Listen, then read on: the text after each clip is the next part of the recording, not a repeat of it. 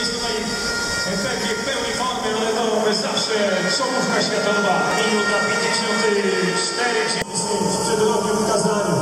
Michał Poprawa, czy Damian Szanowski na to, że czwarty młody zawodnik z Polska, który rano to osiągnął najlepszy czas.